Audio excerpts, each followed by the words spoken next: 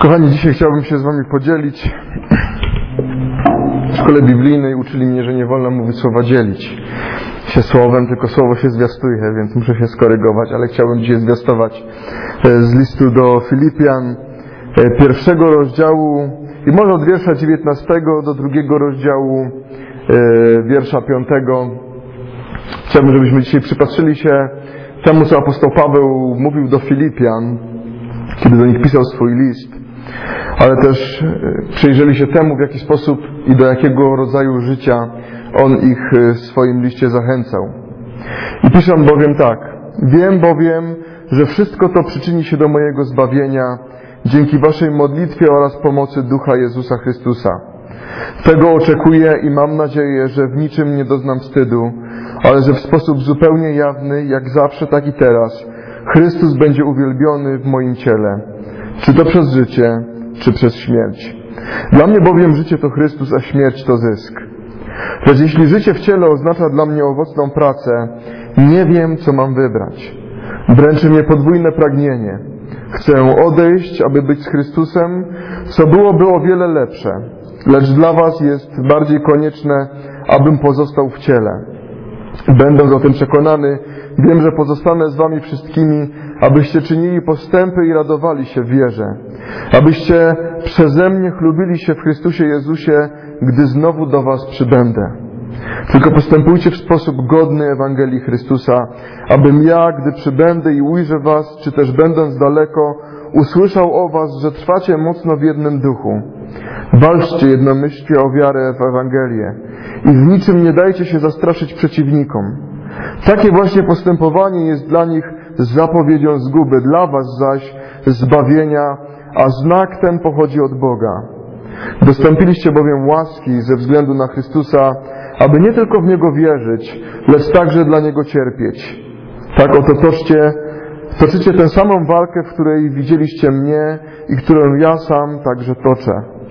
Jeśli więc coś znaczy upomnienie w Chrystusie, jeśli umacnia Was miłość, jeśli łączy Was ten sam duch, lub jeśli macie w sercu miłosierdzie i współczucie, dopełnijcie mojej radości w tym, że będziecie mieli te same dążenia i będziecie żywili tę samą miłość, że będziecie trwali w jedności i myśleli podobnie.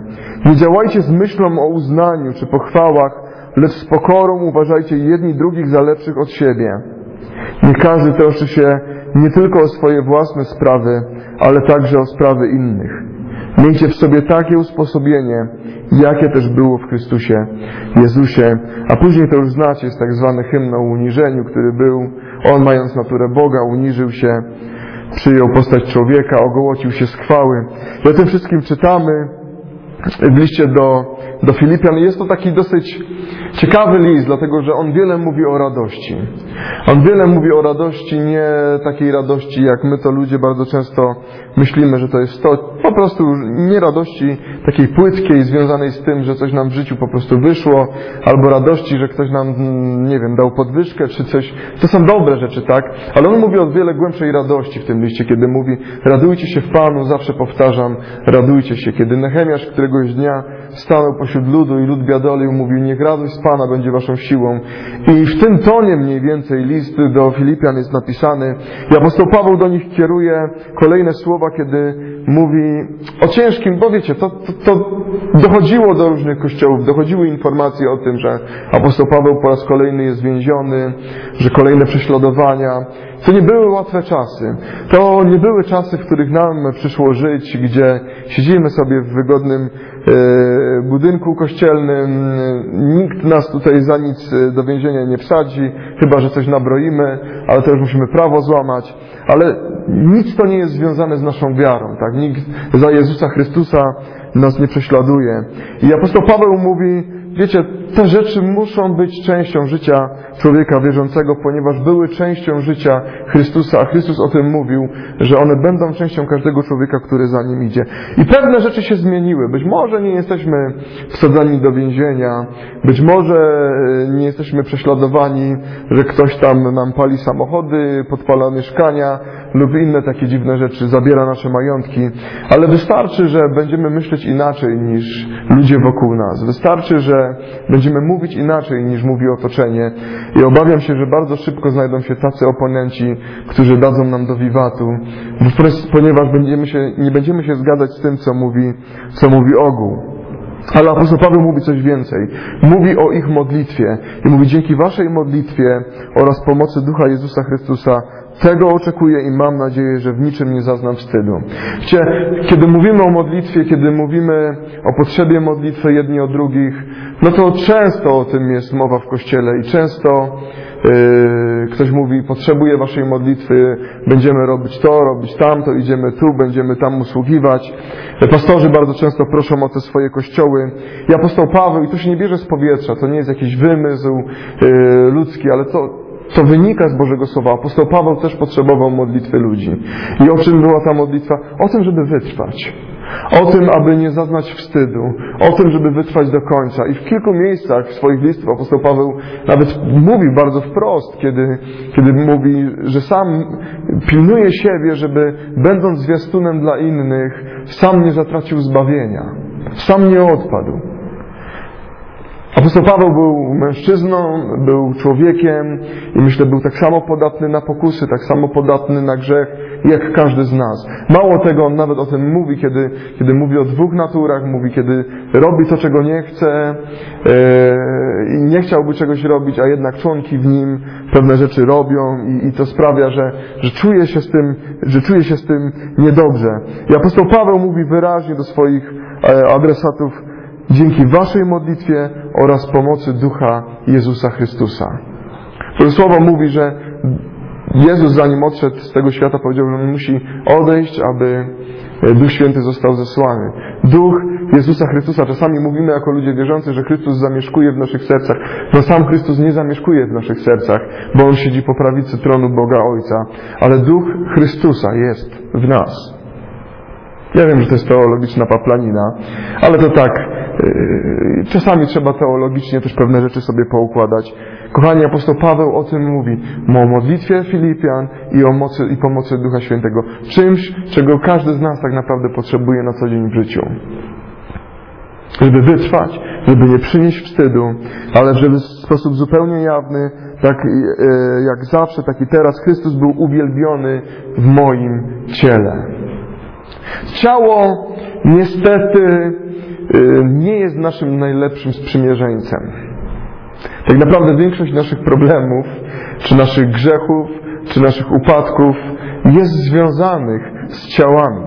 Dzisiaj rozmawiałem z moim przyjacielem, który y, przygotowujemy się do takiej dosyć dużej i poważnej konferencji y, dla mężczyzn w marcu i tematem będzie pornografia i zaczęliśmy sięgać do, do statystyk i okazuje się, że 84% Polaków sięga do pornografii. A gdybyśmy spojrzeli na Boże Słowo, to ono bardzo wyraźnie mówi, że są tak zwane grzechy przeciwko własnemu ciału. 84% Polaków. Pośród 47% wierzących mężczyzn e, w Stanach Zjednoczonych 47% e, mężczyzn wyznaje, że największym problemem w ich rodzinach jest pornografia. Ciało jest bardzo, bardzo niebezpieczne, bo w nim rodzą się nasze porządliwości. Bo to ono kieruje nas i, i, te, i, tych rzeczy może być wiele, nie musimy tutaj uciekać się do jakichś e, seksualnych rzeczy, ale apostoł Paweł mówi, to, czego chcę, to, czego oczekuję od siebie samego, to, do czego dążę i, i, i co jest pragnieniem też moich, moim pragnieniem, aby, abyście się modlili, to aby w ciele był uwielbiony Chrystus. To znaczy, że to ciało musi być ujarzmione. Mówi, mam nadzieję, że w niczym nie doznam wstydu. Ale Chrystus będzie uwielbiony w moim ciele, czy to przez życie, czy przez śmierć. No, to są mocne słowa, kiedy za chwilę apostoł Paweł, Paweł, Paweł mówi Dla mnie bowiem życiem to Chrystus, a śmierć to zysk. Znany fragment, wiele razy cytowany. Niektórzy z nas być może nawet są poruszeni, no, mocne słowa. Ale kto z nas jest na to gotowy? Kto z nas jest y, gotowy na to, żeby powiedzieć, życie dla mnie nie ma sensu? Z każdym y, człowiekiem, z którym rozmawiam wierzącym, powiem wam, niewielu spotkałem takich, nie pamiętam, żebym spotkał takich, którzy mi mówili, że oni by chcieli być w niebie. I bez względu na wiek. Rozmawiałem z ludźmi, którzy często w swoim wieku, że tak powiem, no mogą się spodziewać, tak, y, wizyty u Pana Boga y, lada dzień. Ale każdy z nich gdzieś ma w sobie to pragnienie życia dalej. Bo ma rodzinę, bo ma dzieci, bo ma wnuki, bo ma prawnuki, bo jest dla kogo żyć. I to jest naturalne gdzieś pragnienie w nas. Apostoł Paweł nie miał aż takich dylematów. Ale to, co mówi, to, to, to jest, że w jego ciele ma być uwielbiony Chrystus, a to się bierze z tego, że Chrystus jest jego życiem, a śmierć zyskiem. Prawda jest taka, że człowiek XXI wieku robi wszystko, żeby oddalić od siebie śmierć. Medycyna robi wszystko, żeby uratować kogoś, kto stoi jedną nogą w grobie, żeby odciągnąć moment śmierci na jak najpóźniejszą chwilę. I tak naprawdę wielu ludzi dzisiaj e, dawno by nie żyło ileś lat temu, ponieważ medycyna tak daleko posunęła się do przodu. Nie chcemy umierać. Nieczęsto myślimy o niebie. Nieczęsto myślimy o tym, że dobrze by było być z Chrystusem, że fajnie by było być po tamtej stronie. Paweł ma pewien dylemat. I on za chwilę o niej mówi, jeśli życie w ciele oznacza dla mnie owocną pracę, nie wiem, co mam wybrać.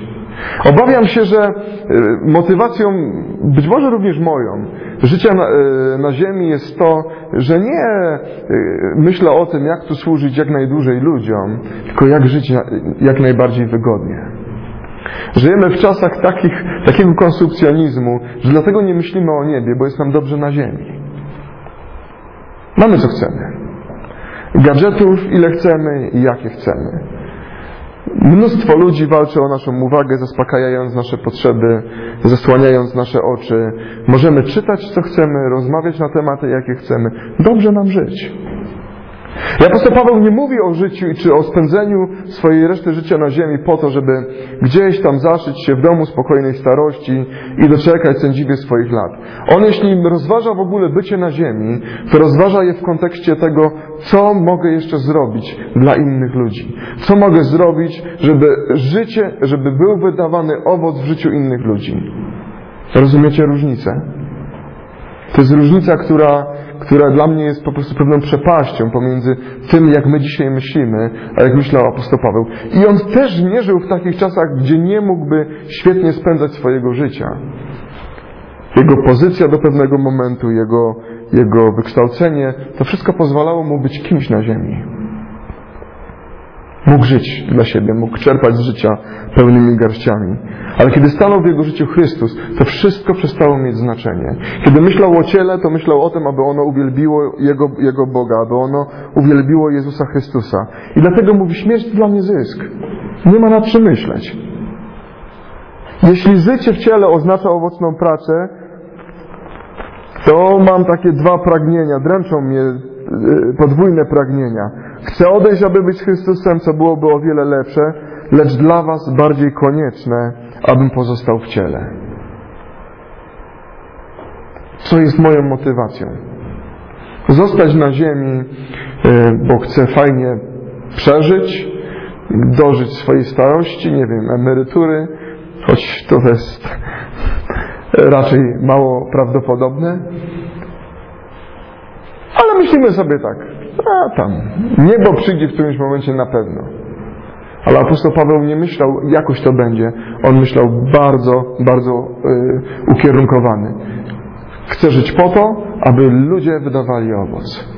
Chcę żyć po to, aby poświęcić Kościołom czas, aby poświęcić czas ludziom, aby ich życie jeszcze bardziej było owocne. Po to chcę żyć. I dlatego jestem gotowy poczekać na moment spotkania z Chrystusem.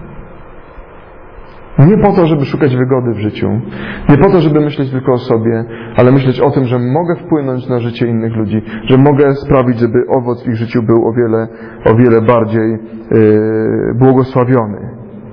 Będąc o tym przekonany, wiem, że pozostanę z wami wszystkimi, abyście czynili postępy i radowali się w wierze. Apostoł Paweł nie żył nicością. Apostoł Paweł nie żył tylko z dnia na dzień po prostu, żeby żyć. On wiedział, czego chce. I on wiedział, czego oczekuje od niego Bóg. I to było, jest bardzo mocno widoczne w jego listach.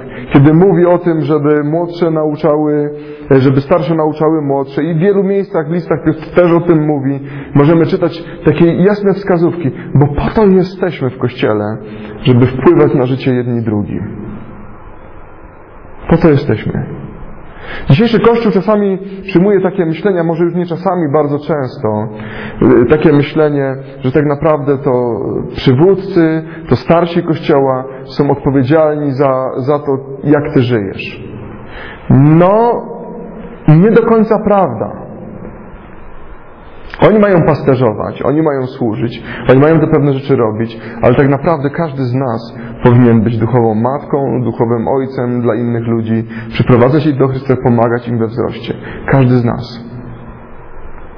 Gdybym zapytał Was, na, na ile osób macie realny wpływ?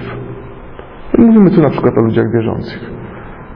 Na ile osób macie realny wpływ, że możecie pomagać ludziom wzrastać, oni wiedzą, że się o nich modlicie, e, od czasu do czasu e, możecie dzielić się razem Słowem Bożym, mieć realny wpływ na ludzi. Apostoł Paweł tylko tym żył.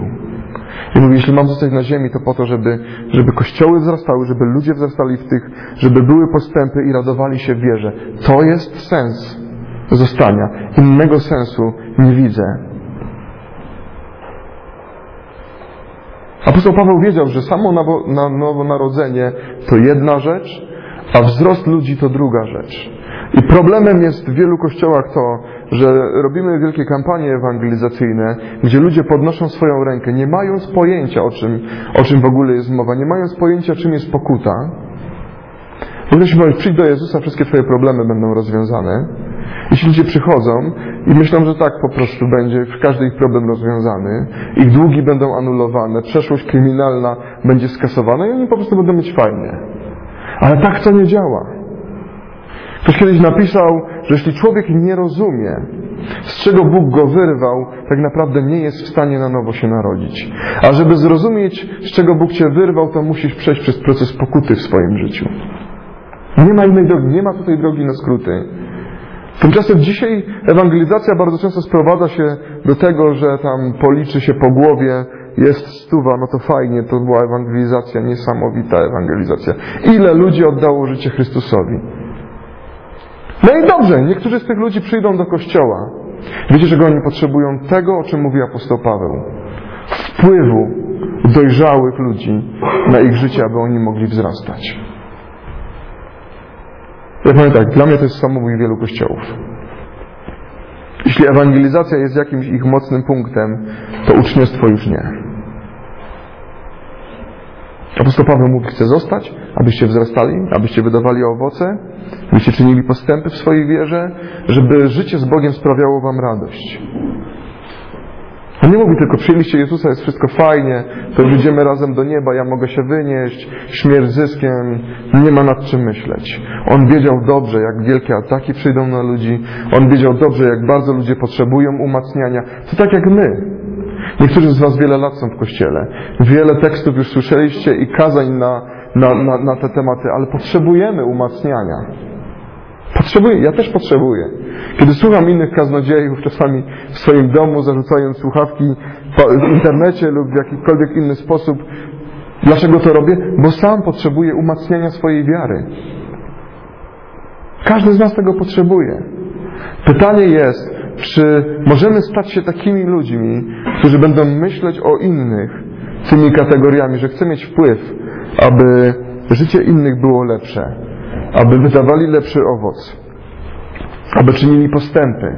Ja lubię widzieć, jak ludzie y, czynią postępy w swoim życiu. I fajnie jest, jak, jak to się dzieje, czasami się nie dzieje. Czasami poświęcam komuś miesiąc, dwa, trzy, rok, dwa lata swojego życia i to tak jakbyś próbował lokomotywę po prostu pchnąć swoimi siłami. Nie da rady.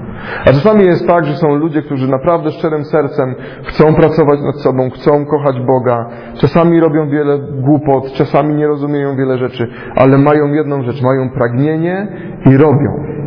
I pracują.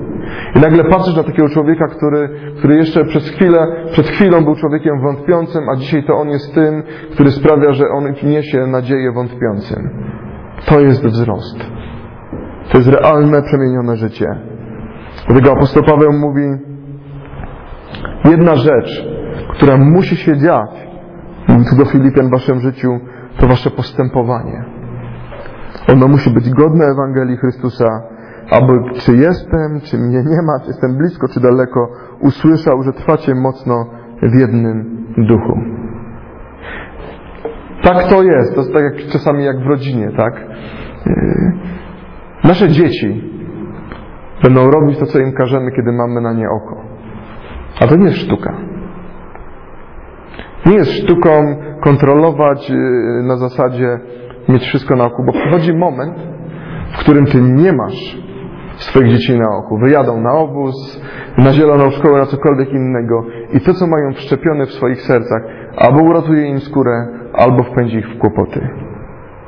Niektórzy ludzie myślą, że proces wychowania polega na tym, że e, tato czy mama po prostu ciągle cię lustrują i, e, i, i pilnują i mają na oku. I takie dzieci później są jak ze spuszczone ze smyczy, robią co popadnie, gdzie popadnie w głupi sposób. Nie o to chodzi. Apostoł Paweł mówi, musisz mieć świadomość, że czy ja jestem, czy mnie nie ma. I to jest trochę nasza natura, tak? Kiedy nikt nie patrzy, jacy jesteśmy. Jest taka książka, bodajże Hybels napisał, kim jesteś, kiedy nikt nie widzi.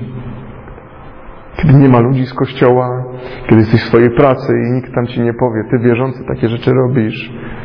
Kim jesteś, kiedy nikt nie widzi? Apostoł Paweł mówi, Twoje życie musi być tak godne Ewangelii. Czy ja jestem blisko Ciebie, czy ja jestem gdzieś w dalekiej podróży, tak masz żyć, aby te rzeczy z Tobą były kompatybilne. Mówi, to co chcę słyszeć o Was, to, to fakt, że trwacie mocno w jednym duchu. Walczycie jednomyślnie o wiarę Ewangelii i w niczym nie dajecie się zastraszyć przeciwnikom.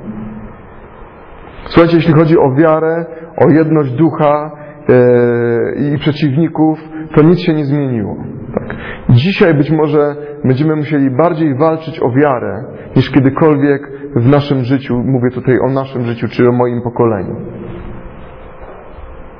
Dlatego, że wiara staje się przedmiotem kupczenia. Wiara staje się płytka, poznanie staje się jeszcze bardziej płytkie, yy, grzech nie nazywany jest grzechem, w różnoraki sposób rzeczy się nazywa. I dzisiaj trzeba będzie walczyć o wiarę. Dzisiaj, kiedy słucham czasami yy, różnych nabożeń w różnych częściach świata, to czasami po prostu jestem przerażony tym, co widzę i tym, co słyszę, do czego sprowadza się wiara ludzi.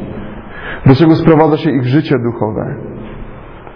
Być może bardziej niż kiedykolwiek w moim życiu będę musiał stawiać i, i walczyć naprawdę o wiarę. Apostoł Paweł wiedział, o czym mówi. On bardzo często musiał się zmagać z fałszywymi nauczycielami, którzy byli kiedyś w kościele, byli częścią ludu Bożego, ale nagle zaczęli nowe filozofie snuć i, i, i zwodzić ludzi. Spośród ciebie wyjdą. Musiał się zmagać z grecką kulturą, filozofią rzymską. Myślicie, że to były proste rzeczy? Oczywiście, że nie. Ludzie musieli się z tym zmagać, tak jak my musimy się zmagać z naszym katolicyzmem, z, naszą, e, z naszym okultyzmem, który jest w narodzie mocno zakorzeniony, z naszym zaboboniarstwem, który jest mocno zakorzeniony. I pośród ludzi wierzących pukanie w niemalowane i inne dziwne rzeczy, które, które robią i uważają, że to jest w porządku. To jest okultyzm. To jest poleganie na losie, jak przeczytacie e, Izajasza, bodajże 50 e, rozdział, czy 49, tam jest jasno napisane, że przeklęty człowiek, który polega na, na losie. Musimy zacząć walczyć o wiarę. O to, co jest treścią Ewangelii. W, jednym, w jednomyślności. To nie znaczy, że teraz wszyscy jak z jednej maszyny będziemy na każdy temat mieć to samo zdanie. Ale jednomyślność w duchu to jest to przekonanie, to pragnienie w nas, że jesteśmy wierni temu, co Boże Słowo wyraźnie mówi. Dlatego Boże Słowo bardzo często mówi o rozróżnianiu duchów. Bo wiecie, to jest takie, my, my na to nie zwracamy uwagi, tak? Ale są różne duchy. Jeśli jest Duch Święty w zgromadzeniu, to będzie jedność duchu. A czasami są i podroby. Paweł mówi, niczym nie dajcie się zastraszyć przeciwnikom. I tu znowu, jak już wiecie, moje, moje myśli mogą być tylko w jedną stronę. To jest Nehemiasz i to, jak wielu on miał przeciwników. I Sambalata, i Tobiasza, i, i wszystkich. To, co w nim było niezłomne, to fakt, że on się ich po prostu nie bał. Oni różne sztuczki kombinowali, przeróżne, do tego stopnia nawet, że przekupili gościa, żeby on go ściągnął do świątyni. Świątynia, miejsce święte, bezpieczne, gdzie mieli go po prostu zgładzić. Ale on się nie bał, bo on wiedział, gdzie postawił go Bóg. I czy tobie się to podoba, czy nie? Jeśli nie ludzie, nie chodzi może być może o ludzi, ale jednego przeciwnika masz na bank i to jest diabeł. A on użyje różnych rzeczy i różnych ludzi, żeby, żeby odpowiednio. I dlatego apostoł Paweł mówi, nie bójcie się ich. Nie bójcie się przeciwników. Niech oni słyszą Ewangelię i, i muszą się z nią skonfrontować i zobaczyć i to będzie powód do zguby. Będą skonfrontowani z tym, co mówi Boże Słowo. Wystąpiliście bowiem łaski ze względu na Chrystusa, aby nie tylko w Niego wierzyć, lecz także dla Niego cierpieć. Tak oto toczcie tę samą walkę, w której widzieliście mnie i którą ja sam toczę. Nie uwierzyliśmy w Chrystusa tylko po to, żeby nasze problemy były rozwiązane. Tylko po to, żebyśmy mieli więcej radości, żeby być razem w społeczności, no i cieszyć się sobą. Nie, nie po to dostąpiliśmy Chrystusa. Nie po to dostąpiliśmy łaski. To nie jest cała Ewangelia. Apostoł Paweł mówi, ale musicie mieć świadomość, że ludzie, którzy stoją na gruncie Bożego Słowa, zawsze będą mieli takich, którzy będą kontratakować, którzy, których będą uwierać. Wiecie dlaczego? Będą mówić to, co mówi Boże Słowo.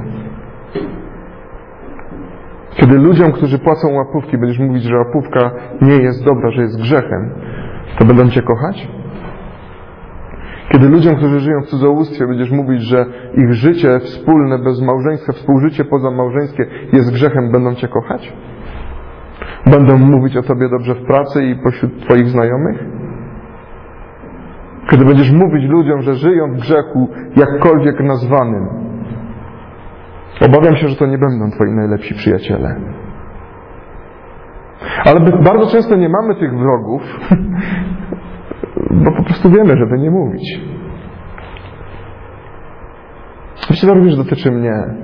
Były sytuacje, w których gryzłem się w język, zamiast powiedzieć to, co mówi Boże Słowo. Każdy chce żyć z innymi ludźmi w pokoju, ale tak naprawdę to jest, to jest żaden pokój. I nie chodzi o to, żeby ludzi mieszać z błotem, nie chodzi ludzi, żeby oskarżyć ludzi i zostawić ich z tymi oskarżeniami. Naprawdę nie o to chodzi.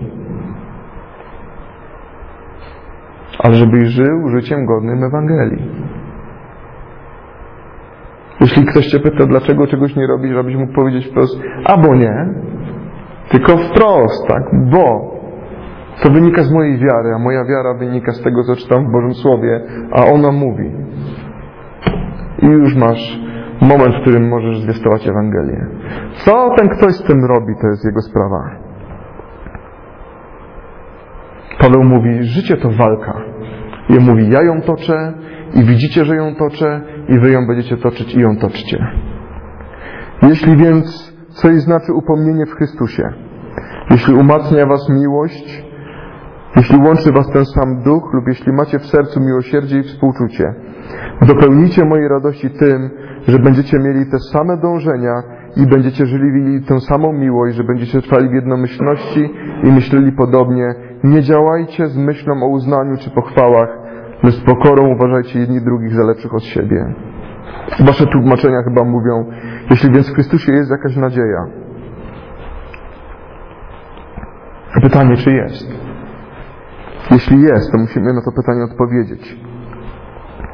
Jeśli umacnia nas miłość, jeśli łączy nas ten sam duch, rzeczywiście ten sam duch, jeśli mamy w sercu miłosierdzie i współczucie, to Paweł mówi, no to są dobre cechy, a teraz dopełnijcie mojej radości tym, że będziecie mieli te same dążenia i będziecie żywili tę samą miłość, jedność, myślenie i nie szukać uznania. Inne tłumaczenie mówi, będziecie, będziecie dążyć w tym samym celu. Te same dążenia. Kościół to nie może być zbieranie na ludzi, gdzie y, każdy dąży do czegoś innego. Wszyscy dążymy do tego, aby przynosić chwałę Jezusowi Chrystusowi naszym życiem. I tutaj nie bardzo jest pole do dyskusji. Nie, nie, nie bardzo jest pole do dyskusji, kiedy mówimy, kiedy definiujemy, co to znaczy żyć godnie, godny Ewangelii Chrystusa. To znaczy mieć miłość, to znaczy być pełnym Ducha Świętego, e, to znaczy mieć miłosierdzie, to znaczy mieć współ, współczucie. Bo te rzeczy wynikają z Ewangelii. I Paweł mówi to mało tego. Dlatego musicie zrobić wszystko, żebyście żywili tą miłość. To nie jest tak, wiecie, tak w rodzinie, jak w małżeństwie, tak? Człowiek mówi tam któregoś dnia, że kocha i tak dalej, ale przychodzą różne sytuacje, yy, zakręty w życiu yy, i czasami tą miłość na nowo trzeba rozniecać.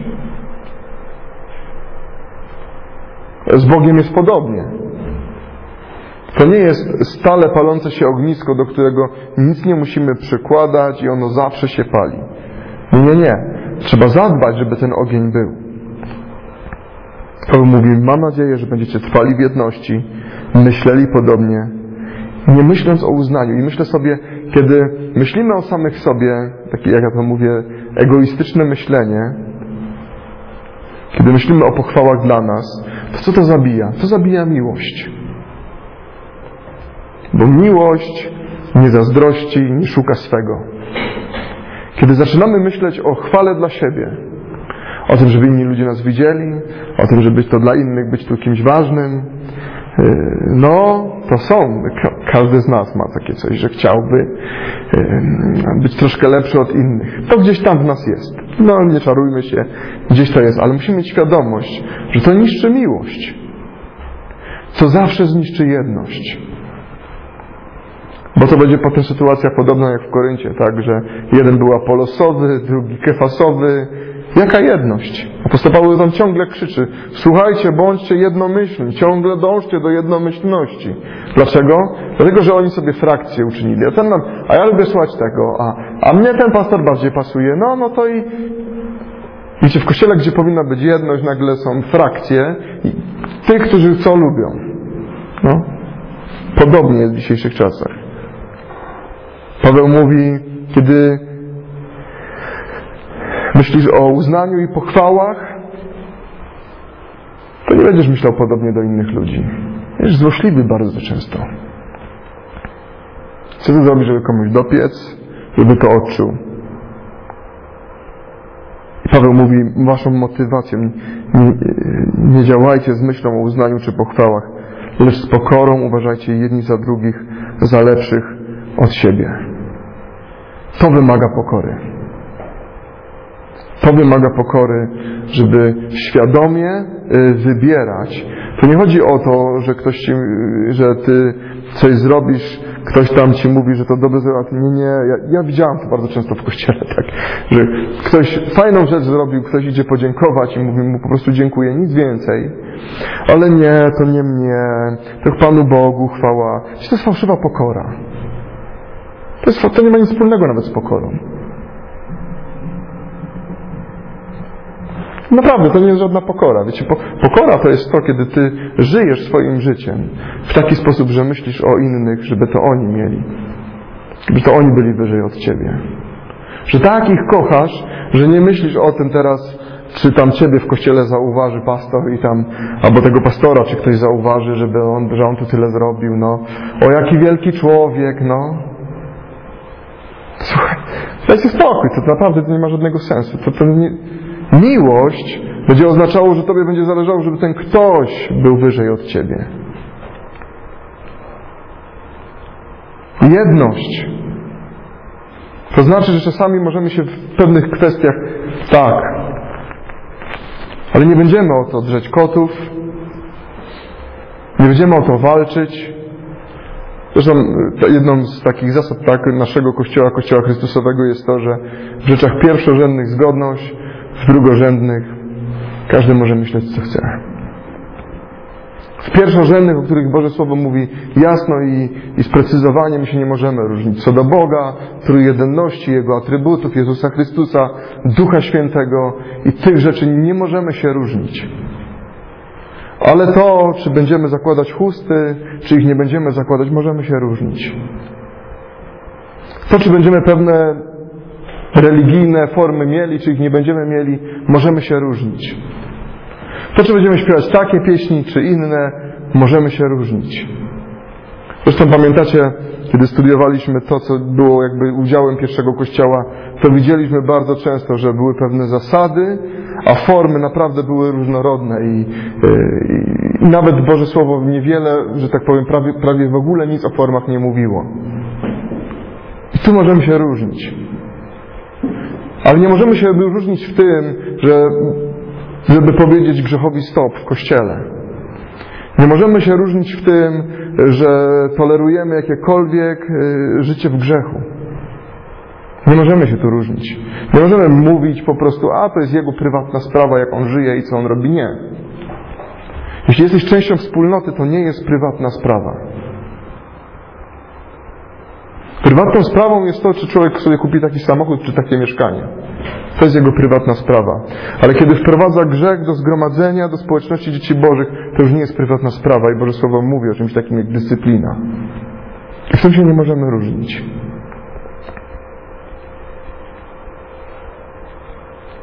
Niech każdy troszczy się nie tylko o swoje własne sprawy, ale także o innych.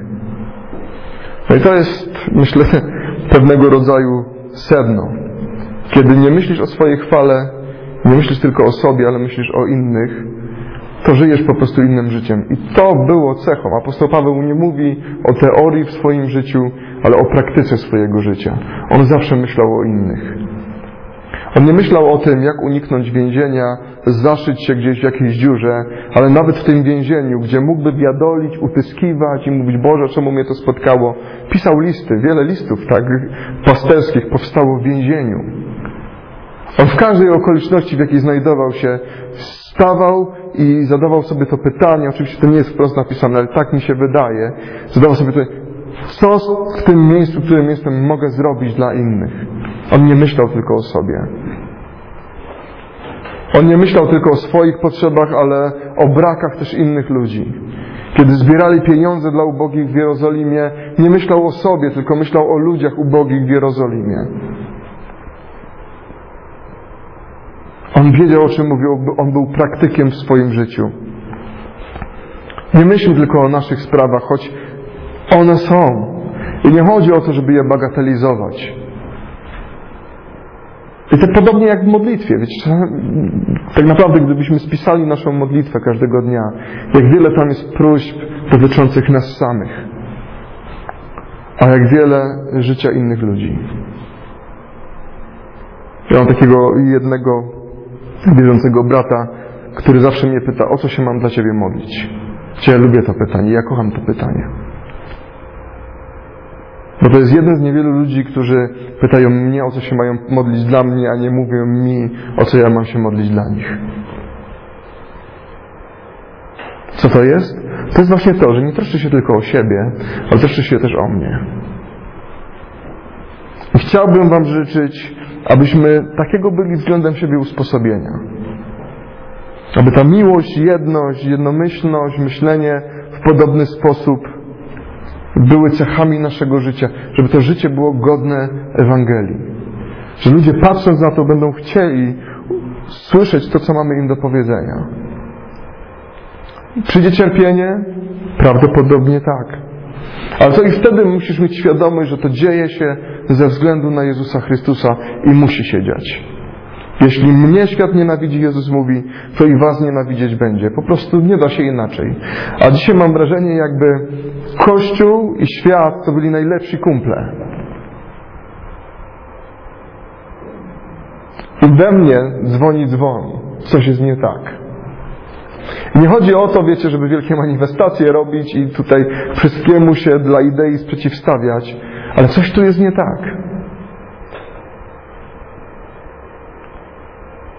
Mamy żyć życiem godnym Ewangelii, a to wcześniej czy później sprawi, że będziemy musieli coś niecoś bólu w naszym życiu odczuć, jakieś odrzucenie, czasami słowa, których nigdy nie chcielibyśmy usłyszeć.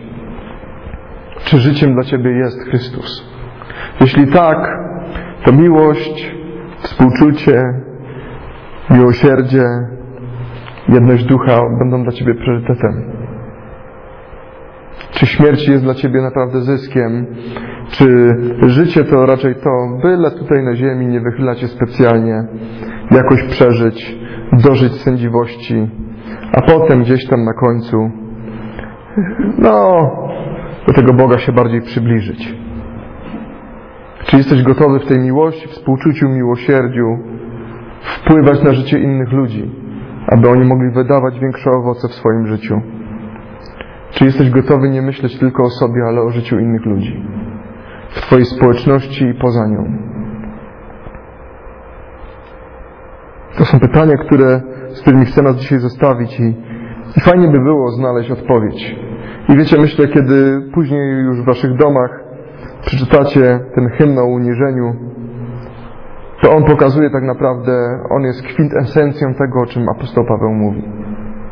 Chrystus, który miał wszystko, zrezygnował, żeby wpłynąć na życie innych ludzi. Z czego my możemy zrezygnować, żeby wpłynąć, każdy z nas w różnym stopniu, na życie innych ludzi. Powstańmy do modlitwy.